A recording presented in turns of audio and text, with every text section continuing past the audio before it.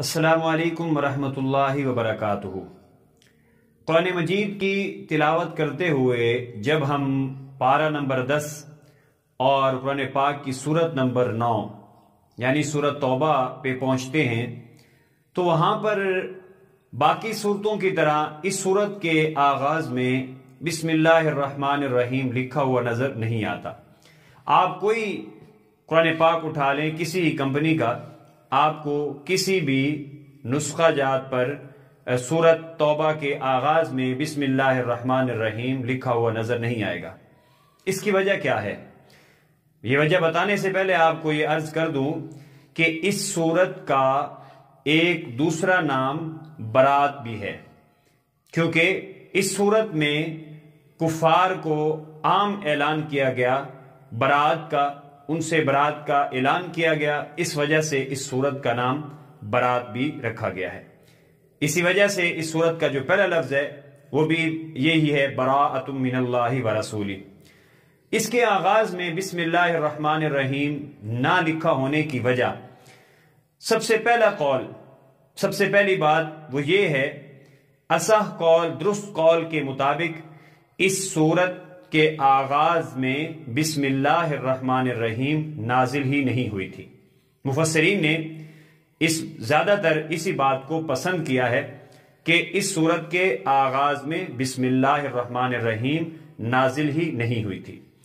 दूसरी बात यह है कि जाम कुरान सैदना उस्मान इबन अफ़ान रज़ी अल्लाह तु उनसे हज़रत अब्दुल्ला बिन अब्बास रज़ी अल्लाह तुमा ने पूछा कि ये आपने कुरान मजीद को जब जमा किया तो इसमें आपने दो सूरतों को आपस में मिला दिया और दरमियान में आपने बिस्मिल्लाहमान रहीम को नहीं लिखा। उसकी वजह क्या है? हत उस्मान बिन अफ़ान रज़ी अल्लाह ने फरमाया कि इसकी वजह यह कि इन दोनों सूरतों के मजामी जो मजमून हैं, उनवान हैं, वो मिलते जुलते हैं। और, एक वजह यह भी है कि आका सलाम के इर्शादात फरमुदात में से हमें कोई बात ऐसी नहीं मिली जिसमें यह बात साबित हो कि इस सूरत के आगाज़ में बिस्मिल्लाहमान रहीम भी है। यानी आका सलाम ने नहीं फरमाया और आपके इर्शादात में कहीं भी इस चीज़ का ज़िक्र नहीं है तो हत उस्मान गनी रज़ी अल्लाह ने फरमाया कि मैं फिर ऐसे कैसे कर सकता हूँ कि आपके फरमान की खिलाफ वर्जी, कि आपने एक चीज़ फरमाई नहीं तो मैं उस चीज़ पे अमल कैसे कर दूँ? तीसरी बात यह है कि इस सूरत के आगाज़ में बिस्मिल्लाहमान रहीम ना लिखे होने की वजह कि इस सूरत में जंगो जिदाल का ज़िक्र है। जंगो जिदाल एक अच्छी चीज़ नहीं है और हमेशा अच्छी चीज़ के लिए बिस्मिल्लाहमान रहीम लिखा पढ़ा जाता है। तो जंग में, जंग का ज़िक्र है, जिदाल का ज़िक्र है तो उसका आगाज़ बिस्मिल्लाह से नहीं किया जा सकता। तो ये इनके वजूहत हैं सूरत तौबा के आगाज़ में बिस्मिल्लाहमान रहीम न लिखोने अब रही बात ये कि इसके शुरू में हमें बिस्मिल्लाह पढ़नी चाहिए या कि नहीं पढ़नी चाहिए।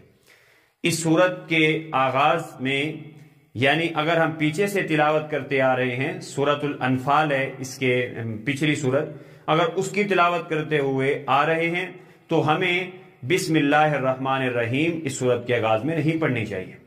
रही बात कि अगर हमारी तिलावत शुरू ही इस सूरत से हो रही है, पीछे हम तिलावत नहीं कर रहे, हमारा आगाज़ तिलावत का इस सूरत से हो रहा है तो फिर दो कौल हैं।